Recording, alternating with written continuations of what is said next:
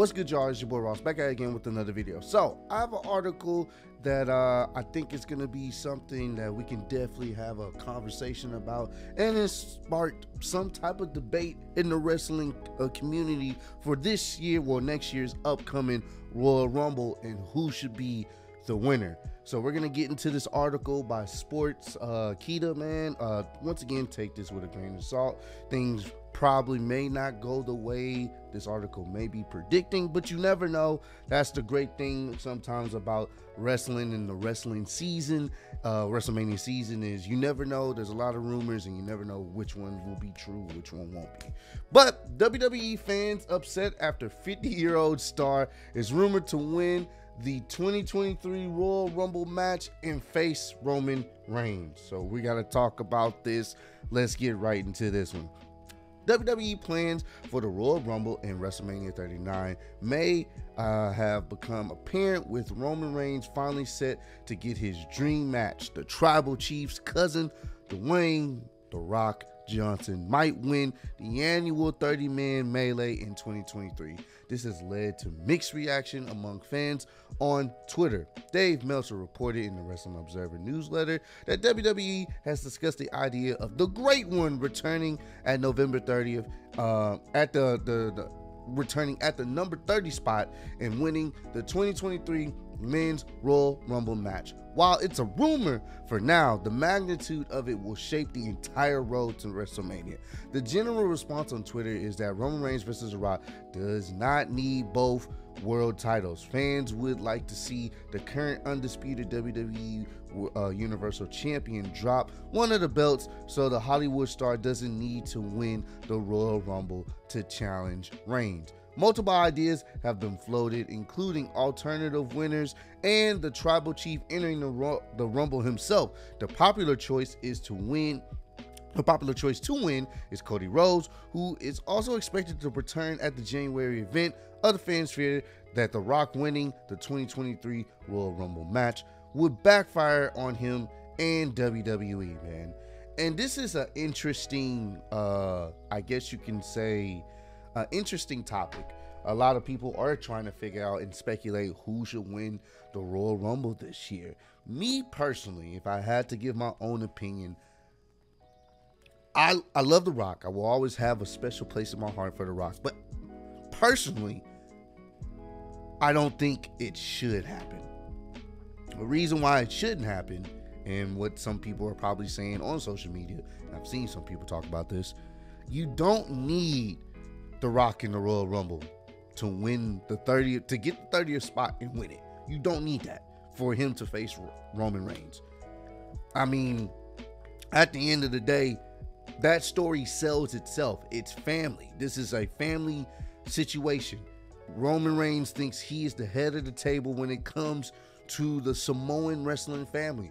The Rock, he's already established himself as the guy in just all of like movies, entertainment, and he was the guy in wrestling when he was wrestling on a full time basis. So it really comes down to them building that story, trying to tell that story. You don't really need the Royal Rumble to even do that. You don't need that match to even set that up. Honestly, I would probably still go with Cody Rhodes because I think you excuse me, I think you can tell a really good story there. Him trying to have that redemption come back from injury. He is also part of a wrestling family lineage. I think you could really go with that situation. And Cody would be the ultimate underdog. Cody would be a very good uh uh, well, he would be a, an, uh, an underdog in this situation because of the overwhelming odds stacked against him when the bloodline going against Cody Rhodes. Now, some of you guys would probably be like, oh, maybe Sami Zayn. And I think they're gonna probably set up something with Sami Zayn and Roman Reigns. I believe there uh, there's rumors of saying it, it, may be Sami versus Roman at Elimination Chamber. Elimination Chamber is supposed to be taking place in Sami's hometown, so I'm not sure that there'll probably be some type of storyline with that, but I think Sami and Kevin Owens will probably go, go after the tag team titles at WrestleMania. So I think he's going to be tied up there. I know a lot of you guys would love for Sami to be the guy to dethrone Roman. I wouldn't even have, wouldn't even have a problem if they pulled an audible, but I think they're going to go back with Cody. And I think the fans will still either way be entertained here. Um, could I see the fans turning on this whole angle if The Rock was to come out at 30? Here's the thing. If The Rock came out at 30, I'm not gonna lie to you. I would pop. I would mark out. It's the fucking rock. I think everyone that will be in that stadium at the Royal Rumble in San Antonio next year, they would lose their shit. I think some people on social media will feel some type of way only because it's like, damn, bro, you gave that 30th spot to someone that's not even gonna be here for the after WrestleMania. You know what I'm saying? So I get the positives and the negatives. Yes, it would be a big moment. We already know who will win, but the negatives here is you kind of take away that potential spot from somebody else, especially in the situation of like Cody coming back. If Cody's in the Royal Rumble, which I hope he's able to be, I think a lot of people will want Cody to win that spot. Or maybe, I don't know, maybe a Bray Wyatt. Who knows? They they have options. I think me personally is just you don't need the Royal Rumble win to set that match up. You don't. Honestly, if you want to be frank, the titles don't even have to be on the line to set that match up. Granted, I know probably one of the titles will be on the line, so I don't know if how they're gonna do this. Maybe, and what I'm thinking, and some people have said this before, I'm thinking Roman wrestles both nights. Roman pulls double duty. Roman shows that, you know what? I am WrestleMania at this point. So you know what? I'm gonna show y'all how cold I really am. I'm wrestling a main event in both nights. You're paying to come see me. I've done these two night events. I've been the main event for night two. You know what? No one's gonna steal my shine this year. I'm going to show y'all why I'm the greatest champion ever in wrestling, and I'm gonna wrestle on both nights, and I'm gonna win on both nights. And his arrogance and his bravado will be his downfall. That would be his downfall, right then and there. It'll be his arrogance that gets the best of him. And I think maybe night one, you set up something with Cody Rhodes, have Cody Rhodes win. Now Roman's in this spot, in this state where he's like, oh, I'm, you know what I'm saying? He's he's kind of he now he's like, yo, I'm, I haven't lost in years. I haven't eaten a pin in years. What the hell? You know what I'm saying? So now he's a little bit desperate. Maybe he can have the match with The Rock ultimately he um, he ends up beating The Rock. I think whatever match, even if the titles are not involved, Roman facing The Rock, The Rock will lose. It just doesn't make sense for The Rock to win that match. He's not going to be there. It'll just be like the passing of the torch, and it'll probably be The Rock's final match ever in wrestling. So either way, the Roman's winning, so you can have him still hold the Universal Championship and have him beat The Rock or something like that, or I don't know.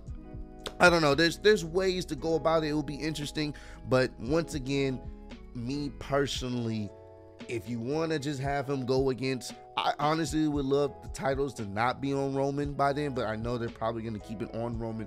I mean, he's not losing it, so they're going to most likely keep the titles on him at WrestleMania or up until WrestleMania. I personally would love for him to lose them and then go after The Rock, but I know it's the titles have become a part of his gimmick of being the head of the table. You can't say you're the head of the table and you don't have the championships or at least one of them. So I'm thinking they're probably they'll find a way to get the Rock inserted. I just hope they don't have to use the Royal Rumble. Um, I hope they don't have to use the Royal Rumble the last spot or give the Rock the Royal Rumble win in in order to do it. You know what I'm saying? So I don't know. This is it's, it's one of those things where it's, it, it's there's many avenues and it's it's kind of exciting to really have this discussion. So I want y'all opinion down below. How do you guys think this is gonna play out?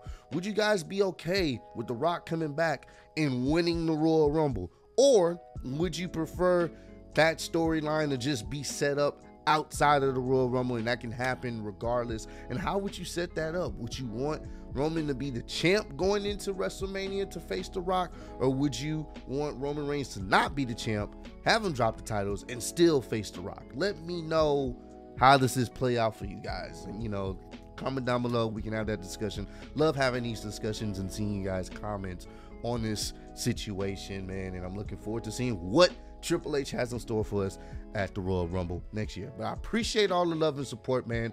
Roll to 150K. Appreciate y'all kicking with me. See y'all next one. Peace.